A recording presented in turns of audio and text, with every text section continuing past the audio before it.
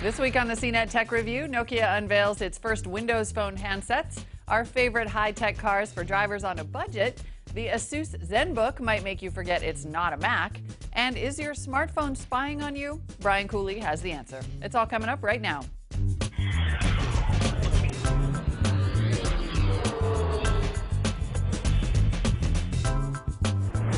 Hi everyone, I'm Molly Wood and welcome to the CNET Tech Review where we collect our hottest videos of the week and tell you what's good and what's bad in the world of tech, plus offer our own unique tech wisdom in the form of the bottom line. Let's start things off with the good. Nokia announced its first two Windows Phone handsets on Wednesday, the Lumia 800 and the Lumia 710. The Lumia 800, though, is the phone that Microsoft and Nokia are calling the first real Windows phone. It's due to hit stores in Europe sometime in November, but Nicole Lee has one for you to see right now. I'm Nicole Lee, Senior Associate Editor for CNET.com, and this is a first look at the Nokia Lumia 800, one of Nokia's first Windows Phone devices. It supports the latest Windows Phone 7.5 Mango operating system. It's made out of a unibody polycarbonate material. On the front here is a curved 3.7-inch WVGA AMOLED clear black display, and that means it has a polarizing filter that makes it look good under bright sunlight. The display is made out of Gorilla Glass, so it's scratch resistant, and is also slightly curved to make it easier to swipe between screens. On the front here underneath the display, you get the Windows Phone controls like the back button, the Windows button, as well as the search function. On the side here, you get the volume rocker, the power button, as well as a camera button. On the top here is a headset jack, as well as a little micro USB port. On the back here is the 8 megapixel camera lens with the LED flash. The 8 megapixel camera can record in 720p HD video. It also has a Carl Zeiss lens. The Nokia Lumia 800 is powered by a 1.4 GHz single core processor along with 512 megabytes of processor memory. It has 16 gigabytes internal storage.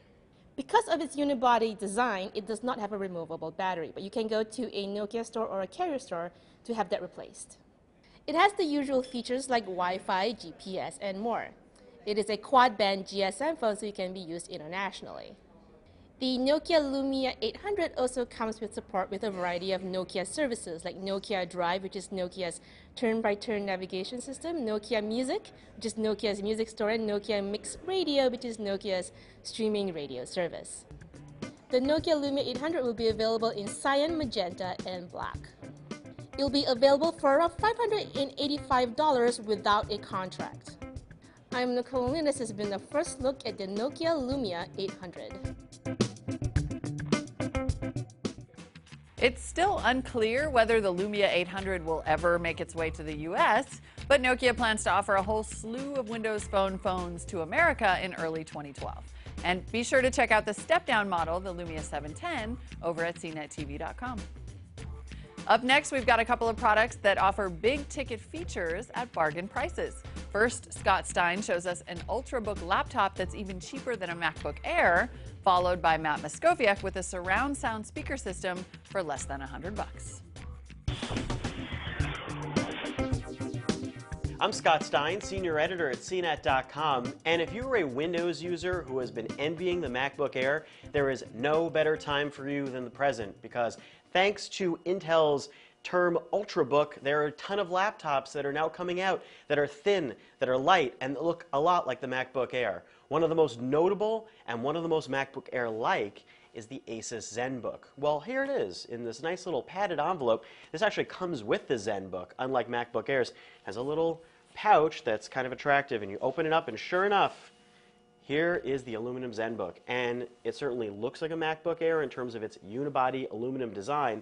There's a little bit more of a radial design here, that eye-catching, light shimmering effect on the back lid, and a little bit of a darker metal, brushed metal on the back, but um, it's a lot of the same feel, a tiny bit thicker and a little bit heavier, but really comfortable and very sturdy to hold. In fact, the Asus ZenBook, the UX31, which is the 13-inch version, uh, comes in at a lower price than the MacBook Air, about $200 less for the same internal components. The UX31E DH52, that's a not very Zen-like name, but that's the name of this particular version, is 1099 and comes with a 128 gigabyte SSD drive and 4 gigs of RAM. And that matches what you're going to see on the 1299 MacBook Air, so it's a pretty good value. Add into that that this comes with a USB 3.0 port and HDMI, although take note this is a micro HDMI port, you're going to need a converter cable to be able to plug that into your TV. But it does have VGA dongles and an Ethernet dongle that connects with USB that comes in the box. The ZenBook is named probably to create a sense of Zen composure and simplicity in a laptop. This does have pretty fast boot times and a very fast wake up from sleep, um, about two seconds, which is very competitive with the MacBook Air. But we didn't really find that keyboard or that trackpad to be very Zen-like. In fact, we found ourselves missing a lot of key types when using this slightly mushy keyboard, and the trackpad uses Sentelic instead of Synaptics, which means, in our experience, we found the trackpad to be a little more finicky and a little harder to pull off multi-touch commands with but it is a very large trackpad and equals the MacBook Air in its size and in its um, clickability. But if you're an AV hound, you'll appreciate the fact that this 13-inch screen has a 1600 by 900 resolution. That's a lot more resolution for your pixel dollar than the 1366 by 768 that you're going to see on most 13-inch laptops. And the Bang & Olufsen design speaker system and audio in this ZenBook laptop does live up to the hype. It sounds a lot better than similar ultra slim laptops. Now, it's not going to blow you away like some super high-end desktop replacement, but it's great for listening to music and to movies. If you want to pay more for your ZenBook, you can pay as much as $14.49, which is going to give you a Core i7 processor and 256 gigabytes of storage. That's still less than you would pay for the equivalent MacBook Air at its high end. Now, if you love great sound and nicer screen resolution, and you can give up a keyboard and a trackpad that maybe are a little bit disappointing, and a battery life that is still okay, but doesn't perform as well as we found the MacBook Air to perform, give this a try. This is as close as you're going to get to a MacBook Air without it being a MacBook Air. I'm Scott Stein, and this is a look at the Asus ZenBook UX31E. Hey, I'm Matthew Moskovciak at CNET.com, and this is the Monoprice 8247. Now, most people know about Monoprice from the company's excellent line of cheap HDMI cables. And now the company is branching out to some other home theater products. The Monoprice 8247 is a 5.1 speaker system, and the pricing is just incredible, with this whole system costing just $84. That's less than $15 per speaker if you include the subwoofer. Now the system includes four small satellite speakers, a center channel, and the subwoofer. The cabinets are plastic with a sandy texture, but they have some weight to them so they don't feel completely cheap. At this price, we were also shocked to see Monoprice included four swivel wall mounts in the package, which is something you don't even find on more expensive speaker systems. Now around back you'll see the metal speaker connectors, which are pretty decent, although they won't accept banana plugs and you'll need to use 16 gauge or thinner speaker wire. The 60 watt subwoofer has a downfiring 8 inch woofer with a baseboard on the front, and the design has a pretty plain, boxy look. Now for $84, we were expecting pretty lackluster sound quality, but Monoprice really surprised us.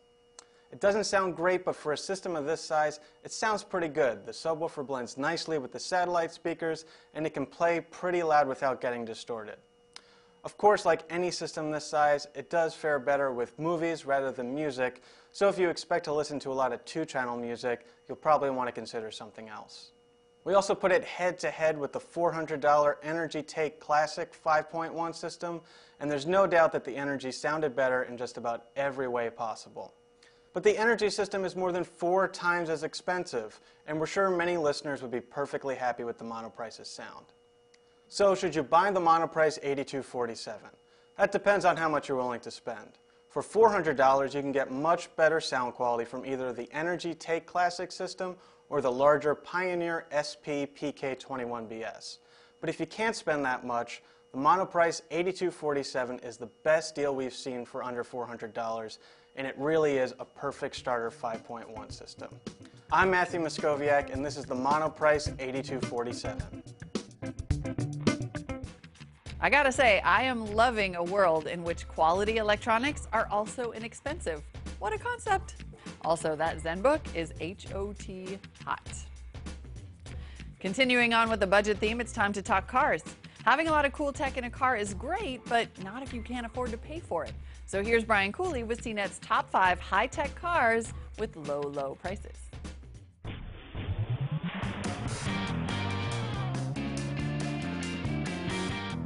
In this economy, when I suggest a high tech car, you probably blanch at the thought of buying something which costs as much as a foreclosed house.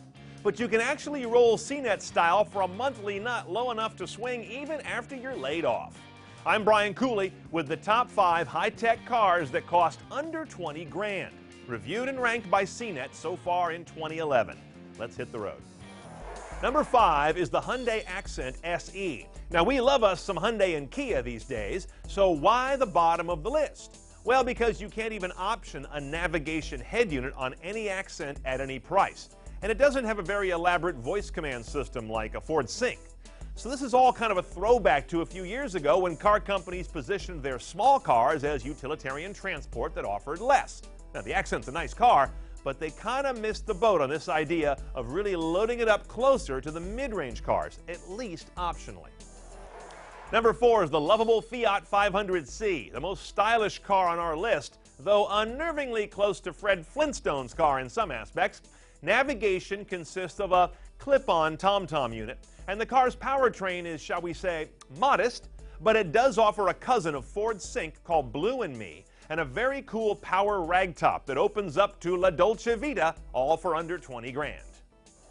Number three is the Chevy Cruze Eco. It scored high in CNET's review because of its wonder of an engine, a 1.4 liter turbo four cylinder that cranks out 2842 mpg while being sufficiently powerful and refined on the road, as is the whole car. You can't get factory nav on a Cruze either, but it does have OnStar, which can bring in a form of nav, and it also supports the new OnStar mobile app, which lets you control various aspects of the car remotely from your smartphone, while it's sitting still, of course. Number two is the newcomer in the bunch, the little Scion IQ. Very small, but not stupidly small, like a smart car. Instead, Scion has a smart strategy of offering an array of high tech head units at good prices. And the IQ has Pandora integrated right out of the box. Its little motor's a 1.3 liter engine. It's best in cities, confidence killing on the highway, and sounds like it's grinding coffee in both situations. But overall, it's an affordable car with interesting tech options and a style that stands out. Just don't trip on it. Before I take you to our number one cheap tech car, check out this survey. According to Arbitron and Edison Research, the tech that we use most in our cars is still AM FM radio, CD player, and cell phone. But when you ask folks what they love to use in their car, it's satellite radio, iPod, and GPS. And the mainstreaming of all those technologies and more into inexpensive cars like I'm talking about today is a very happy trend. Okay, the number one tech car to look at when you're on a budget is pretty easy. It's the Ford Fiesta. Two things stand out for us. First, Ford's excellent sync system, which I almost think is better on a simple display like in this car than on the elaborate LCD. It does a great job of recognizing contact names and music titles when you bark them out by voice. And Fiesta offers a dual clutch manual gearbox. Nobody else does that at this price, not even close. On the other hand, the navigation is kind of an OnStar like system, which we found was sort of hit and miss, and even then it only works when you have a cell connection. But still, if it's our 20 grand, we're probably going to buy a Fiesta. By the way, everyone always asks at moments like this, what do I drive? Sorry to disappoint you, but my 88 Country Squire doesn't even have airbags, and I want you to be safe. For more top fives like this, go to top5.cnet.com. I'm Brian Cooley. Thanks for watching. Of course, if money is no object, you might want to check out the 2012 Porsche Panamera Turbo S. I'm saving up for that. You can find our review over in the car tech section on CNET TV right now. But not right now. We've still got a lot more tech review coming up right after this.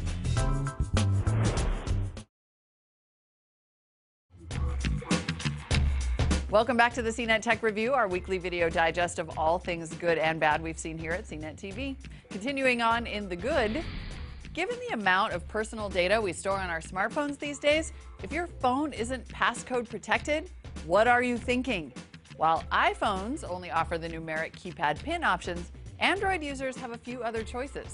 Here's Sharon Vaknin with the pros and cons for each one.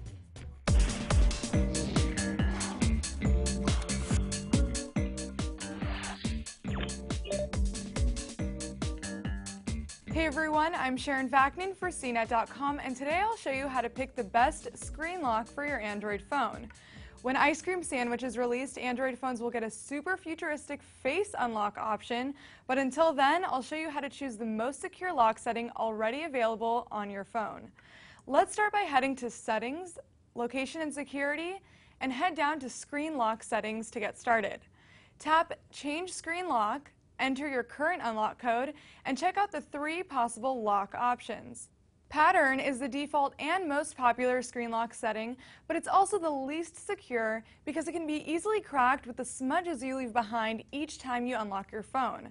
I don't recommend using a pattern lock, but if you insist on using it, maybe to impress your iPhone using friends, enter the pattern you want to use, enter it again to confirm, then uncheck Use Visible Pattern. This way, anyone looking over your shoulder as you unlock the phone will have a hard time seeing the pattern. Now, the next option is a pin lock. Pins are easy to remember and offer decent to great security depending on your number combination. The majority of people choose terrible pins like 1234 or 1111, but please don't be one of these people. Instead, choose a pin that's at least six characters and doesn't follow a numerical pattern. Once you choose your PIN, then confirm it, uncheck visible passwords so that when you unlock your phone, your PIN is hidden as you type. The last and most secure lock setting is password, which can be a combination of letters and numbers, offering the highest level of security. It is the most annoying form of security because it does take extra time to enter, but if you pick a strong password, you can rest assured the data in your phone is safe. Just tap password here, enter it and confirm it, and uncheck visible passwords so that your secret code is hidden as you unlock your phone. If you have any questions or tech tips that you'd like to share, hit me up on Twitter or my Facebook page. For CNET, I'm Sharon Vaknin, and I'll see you on the interwebs. I'm so glad that Sharon is finally calling Android onto the carpet for the underreported problem of greasy finger security flaws. Because ew. Speaking of you, let's have a look at some of the gadgets unfortunate enough to end up in the bad.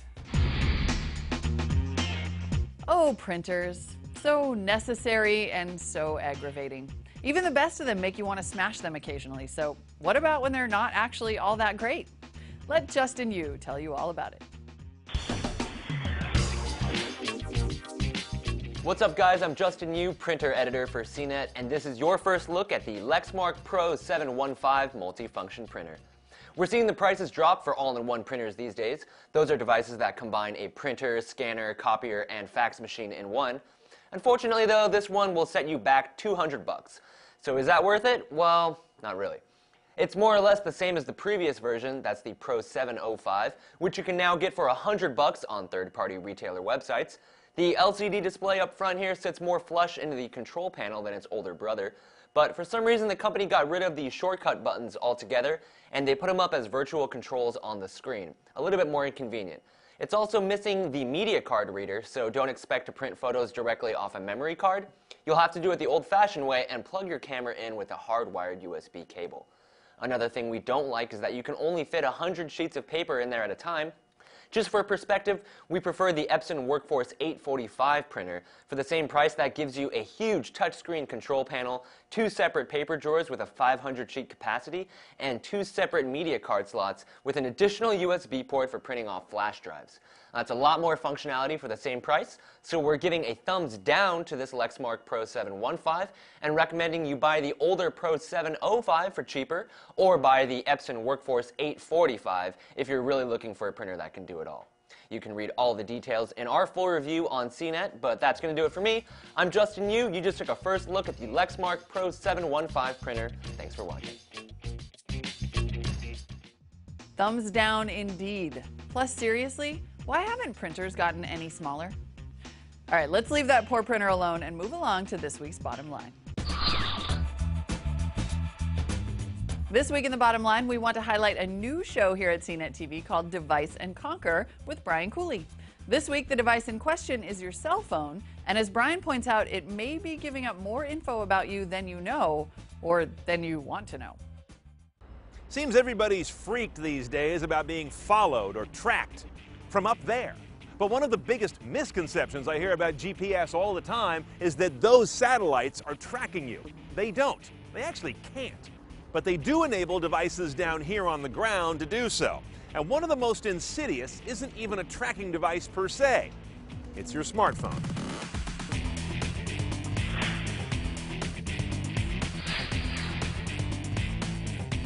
First, a little explanation how all this stuff works. The Global Positioning System, or GPS, is a network of about 30 satellites constantly orbiting the globe, run by the U.S. government. And what they're doing is always sending down to Earth a signal indicating where they are and when they are there with extreme precision. Now, devices down here on Earth with an inexpensive GPS receiver chip in them pick up all those signals and can make sense of it. That's how they know where they are.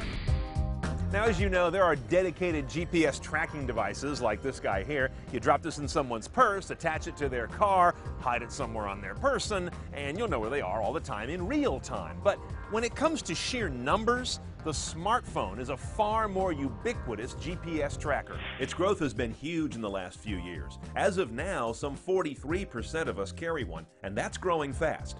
But unlike a simple tracker, it marries your location to details about your life and makes all of that available via a constant wireless internet connection. For example, I'm out running errands right now while I should be at work. My phone basically knows that because GPS tells it where I am and what time I'm there. I left on my Google Latitude feature, that's recording locations. And since I probably have 3G and Wi Fi on most or all of the time, those various information gatherers can report my information and things about me without me really being aware of it. Do I have your attention now? Facebook, Apple, Google, Microsoft, just some of the parties that have been in the headlines recently for recording and storing this kind of information.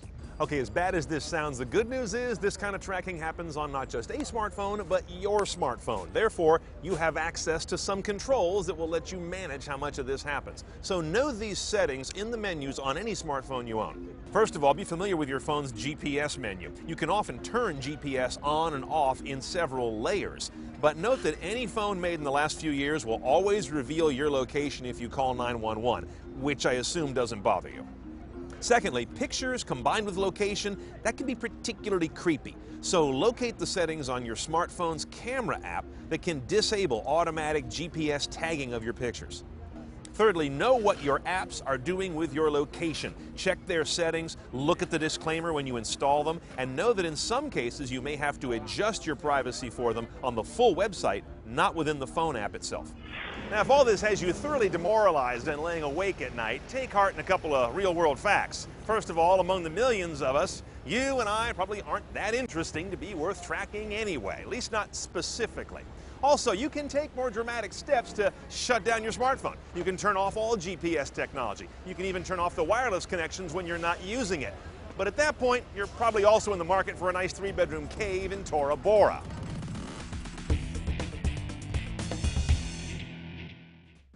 The bottom line this week only you can prevent cell phone spying. A lot of people are worried about their privacy, but not that many of you do what it takes to lock down your information. It's your data, folks. Dig into those settings. You'll be glad you did.